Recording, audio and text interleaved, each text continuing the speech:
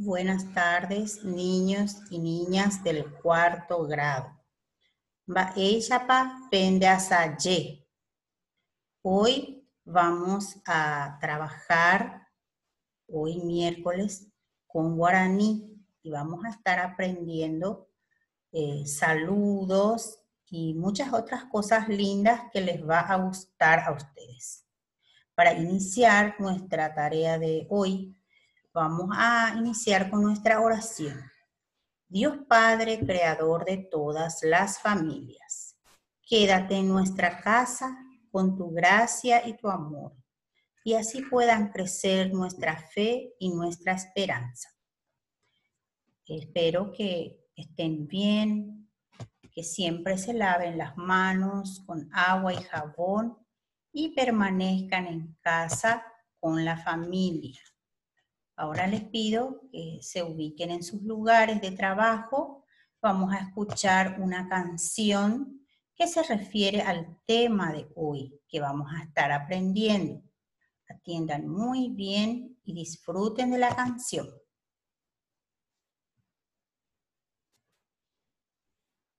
Pamba,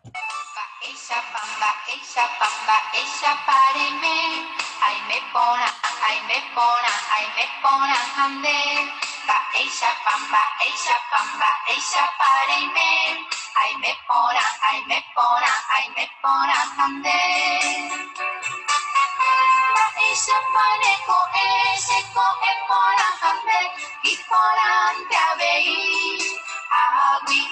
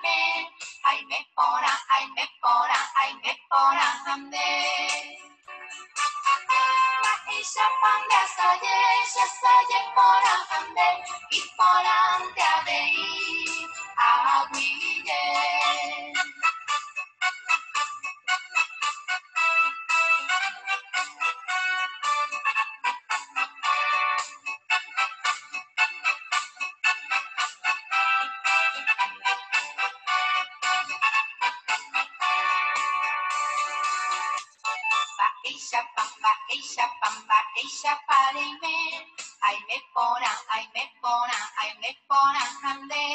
Ba ella pamba, ella pamba, ella pareme, ay me pona, ay me pona, ay me pona hande.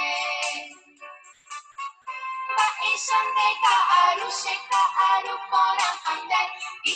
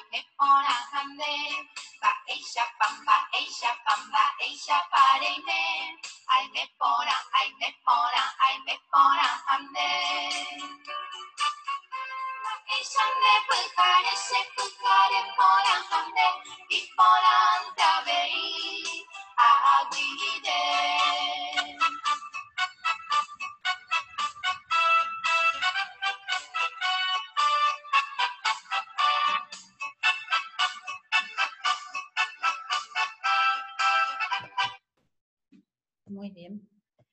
Bueno, han escuchado atentamente, ¿verdad? Imagino que conocen algunos términos que se estuvo eh, utilizando en la canción. Muy bien. Hoy nosotros vamos a estar aprendiendo más términos en guaraní y vamos a estar trabajando con eh, la continuación de la clase pasada, ¿verdad? Lo que estuvieron haciendo en la clase anterior, vamos a continuar para poder enriquecer y así aprender más. Y vamos a trabajar con nuestro libro. Van a tener cerca de ustedes sus libros para poder trabajar. Y les recomiendo que siempre vayan hojeando lo que ya han desarrollado en la clase anterior. De esa forma, les ayuda a ustedes a recordar lo que han desarrollado en la clase anterior, es en la página 13, eh, 14, vamos a estar utilizando hoy. Y dice así el ejercicio. Va ella para embojo, va y va en a. ¿Cómo puedes responder? Aquí, así como nos decía la canción, va ella pane con e. Quiere decir, ¿cómo amaneciste? Y el niño va a responder a, la niña, she con e hande. Amanecí bien. ¿Y tú? Siguiente. Va ella pande aru. She aru pona hande. Va ella pande pujare. She pujare pona hande. Entonces, eh, ella pan de kaaru o ella pan de asaye también se podría utilizar. En la vida cotidiana, eh, en el día a día, se utiliza también si yo voy a la siesta a visitar a alguien, puedo utilizar pan de asaye. Luego, pan de pujare ya es a la noche. Se pujare pona hande y tú.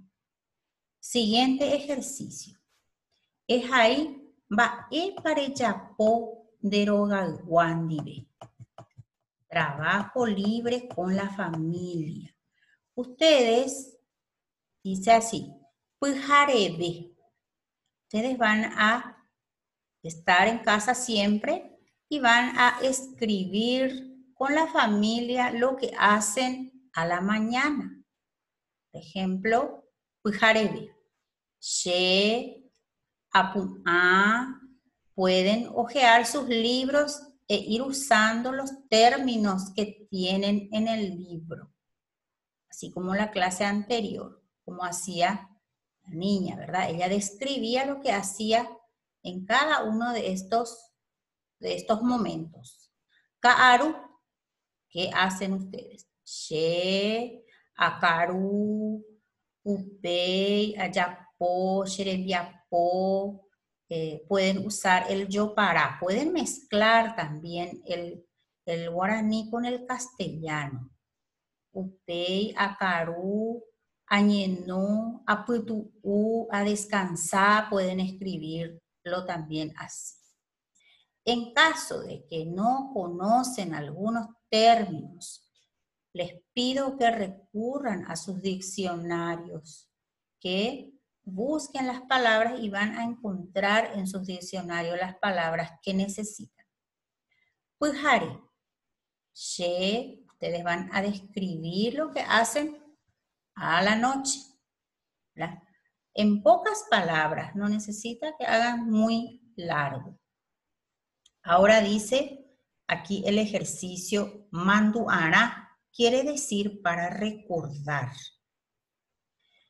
Aquí ustedes van a leer. Lo importante en guaraní es leer, ensayarse la lectura, practicar la lectura.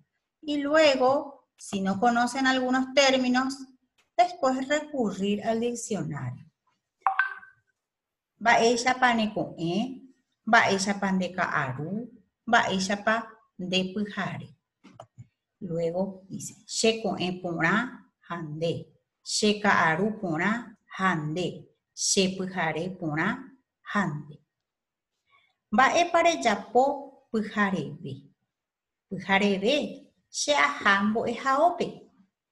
Va e pare japo ka aru, ka aru, she ayapo, tembiapo, bo ejaope ua.